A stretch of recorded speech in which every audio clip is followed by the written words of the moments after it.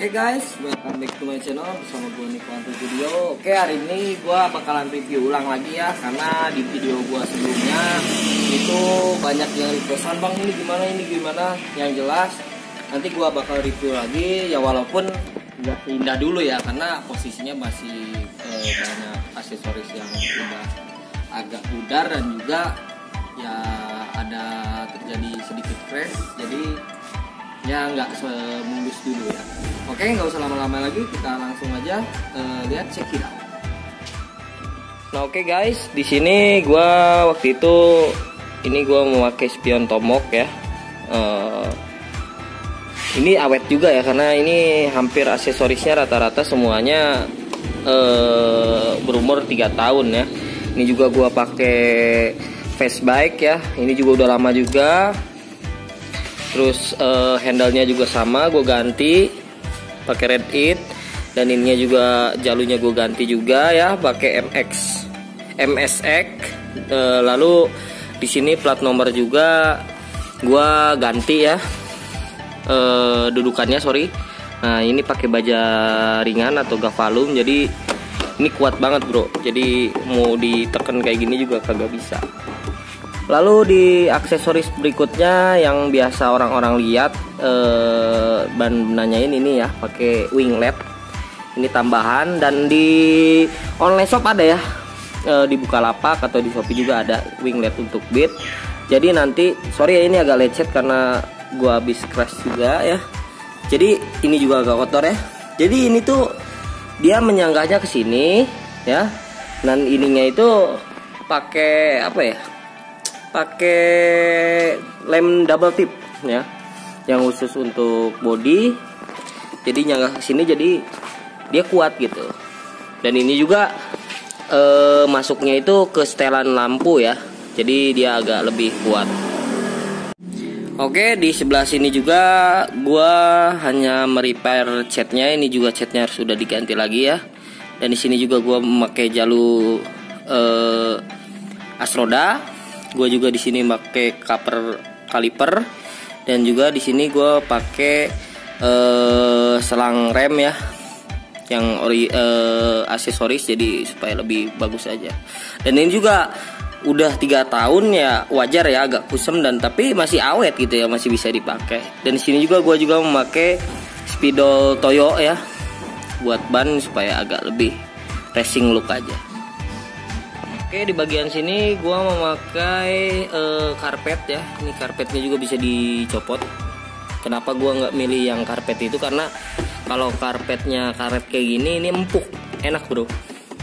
Dan ini juga gua gantungannya gue ganti ya. Pakai yang model CNC jadi lebih keren aja ya. Nah, ya. Jadi bagus saja. Lalu di sini juga nah ini ya, gue juga pakai visor jadi visornya lebih tinggi tuh ya ini visor original aksesorisnya uh, dari Beatnya ya. ya jadi gue beli di official Beat resmi. Lalu di sini juga gue pakai penahan gas ya supaya nggak pegal. Ini sebenarnya ya orang kalau nggak tahu ini murah atau mungkin nggak ada fungsinya. Ternyata ini setelah gue coba jarak Bandung Jakarta Kuningan Cirebon ini enak banget. Majalengka ya juga. Ini enak banget Nah oke selanjutnya gue pakai muffler juga. Nah ini ya gas crash ya jadi agak untung juga. Gue nggak ganti karena ya masih bagus lah gitu kebilangnya ya. Dan ini juga pakai cover kipas. Dulu gue pernah pakai uh, tutup oli yang aksesoris. Gue ganti lagi ke yang ori karena yang aksesoris itu jeleknya karetnya bro, gampang bocor. Jadi gue saranin yang pakai ini mendingan balikin lagi ke awal karena ya itu gua aja nih ini makanya susah dihilangin itu bekas oli. Oli yang e, nyiprat ke mana-mana akhirnya susah dibersihin. Akhirnya gua putusin gue balikin lagi ke yang standar. Ini juga cat e, cuma dicat doang ya. Ban juga masih ori. E, lanjut. Tampak belakang juga sama ya. Plat nomor gua juga di ini juga. Pakai apa namanya uh, baja ringan juga. Nah ini shotbacker gue ini kelihatannya masih standar ya. Tapi ini gue ganti pakai Vario 150 karena pertama lebih empuk kedua lebih tinggi dan ketiga lebih enak aja gitu. Beda dengan yang eh, bawaan beatnya itu agak keras bro. Ya mungkin kalau bagi teman-teman semua yang punya beat pasti ngerasa uh, agak keras. Makanya gue ganti pakai Vario 150 nah ini pakai aksesorisnya biasa lah cuman ring-ring biasa agak pemanis juga. Ini juga gue ganti ESP nya pakai cover supaya lebih cantik aja gitu manis dilihatnya. Ini juga gue pakai koper kaliper supaya lebih bagus aja ya ngelihatnya. Seperti itu. Nah oke okay, bro. Uh, ini juga uh, gue udah ganti lampunya ini lampu senjanya jadi warna putih putih kilat nah, clean lampunya dan di sini juga gue pasang buat saklar lampu ya. Jadi supaya dia nggak cepet pecah. Jadi uh, gue ganti. Dan lalu di sini juga bisa dilihat agak dekat. Ini di sini itu sennya itu. Ini ya coba bisa dilihat kiri kanannya nah ini lampu hazard jadi ketika touring itu lebih enak. Ini gue ganti juga flashernya jadi lebih cepat dia ya. Coba kiri kanannya. Nah ini lebih cepat. E, cara pemakaiannya pun gampang nanti gue liatin ya. Jadi tuh ya.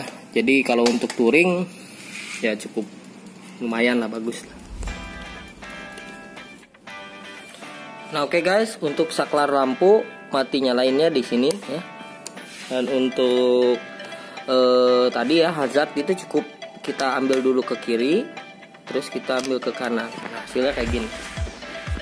Tuh jadi simple lah nggak merubah kan kadang ada yang bikin lagi jalur baru tapi gua nggak di sini pakai ini lagi apa namanya relay lagi e, dicocokin akhirnya ya bagus gitu nggak nggak ngerubah apa pun.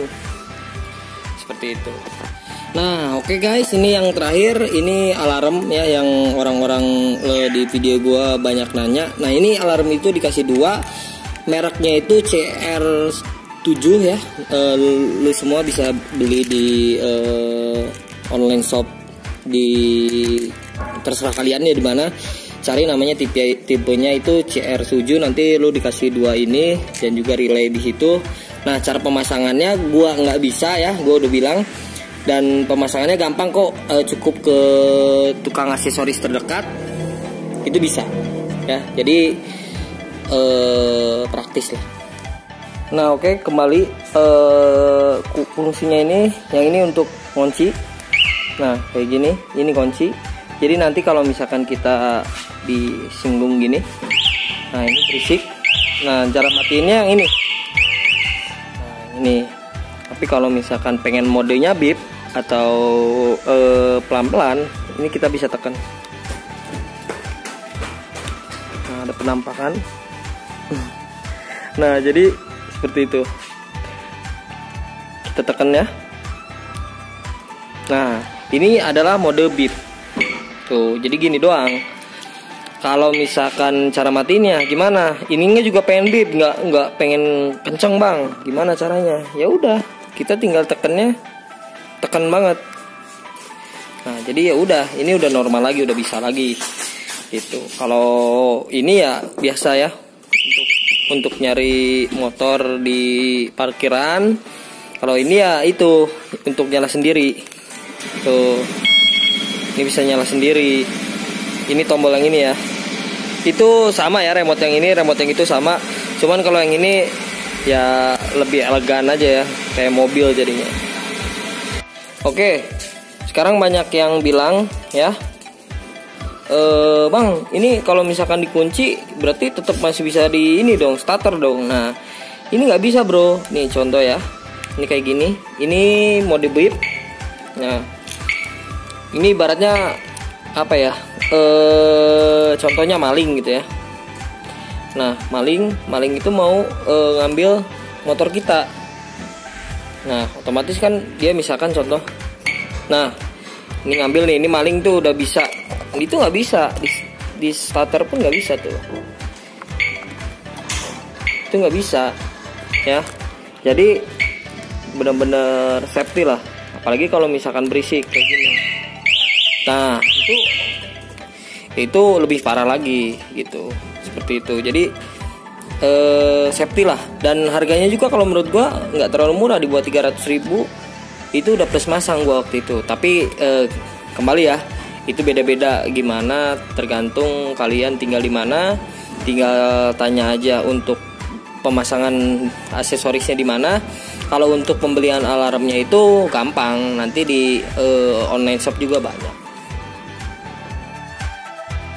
oke okay guys mungkin cukup sekian uh, info gua kali ini. Sorry gua uh, teman-teman waktu kemarin gua nggak banget karena gua ada juga. Oke jangan lupa like comment dan subscribe. Apalagi subscribe itu gratis. Kalau gratis berarti nggak bayar. Dukung terus gua supaya gua akan terus memberikan konten-konten yang bermanfaat buat kalian semua. Oke gua Niko Andrew Julio see you the next video. Ciao ciao